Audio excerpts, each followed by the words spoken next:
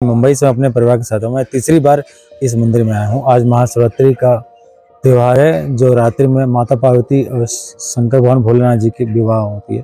तो उसी अवसर पर हम लोग माता जी के मंदिर में दर्शन करने के लिए यहाँ पर आए थे। अपने मेरी पत्नी, अपने पुत्र, अपने खुद ही में आया हमने मांगा कि प्रेम दे, भावना दे, भक्ति दे, सब लोगों को कल्याण करें। इसको कल्याण हो, भारत का कल्याण हो, भारत और ज़्यादा तरक्की करे, विदेशों में भी भारत का नाम हो। और सब लोग भक्ति भाव में डूबे रहे हम, मैं यहाँ पर तीसरी बार आया हूँ अपने परिवार के साथ तो वैसा भी मैं कश्मीर आए घूमे, फिरे माता जी के दर्शन करे बुढ़ा जी दर्शन करे, और यहाँ सुख, शांति, बहुत अच्छा है। कश्मीर बहुत अच्छी जगह पर है। हम लोग आए मैं सबको बोलता हूँ, यहाँ आइए, घूमिए, यहाँ के लोगों से मिलिए, जुलिए, बहुत अच्छे यहाँ के प्यारे लोग हैं। आज महाशिवरात्रि का महापर्व है। इसको हम महाशिवरात्रि कहते हैं। आज के दिन ही भगवान शंकर जी ने पार्वती जी से शादी की थी।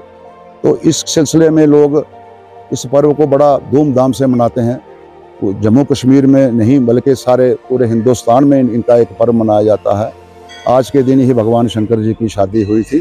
तो शिवपुराण में भी लिखा है कि जो व्यक्ति, जो प्राणी मंदिर नहीं जा सकता तो आज के दिन वो भगवान का अभिषेक करे तो पूरे साल का महत्व मिलता है। मैं अपनी तौर से, अपनी तरफ़ से, धर्मा ट्रस्ट की तरफ़ से हमारे chairman trustee Maharaja doctor Karan Singh ji और सभी ट्रस्टियों की तरफ़ से कश्मीर के जितने भी वासी हैं, कश्मीर वासियों को एक हार्दिक शुभकामनाएँ देता हूँ, मुबारकबाद देता हूँ कि आज का ये महापर्व आपको ये खुशियाँ लेकर आए और आपके बच्चों को बल बुद्धि सदबुद्धि विद्या प्रदान करें, आपके परिवार की रक्षा करें, आपका परिवार खुशहाल हो। भगवान शंकर जी से मेरी ये गुजारिश है, जैसे कश्मीर में अमन शांति है, इसको और भी अमन शांति की तरफ़ ले जाए। बोलिए, शंकर भगवान की।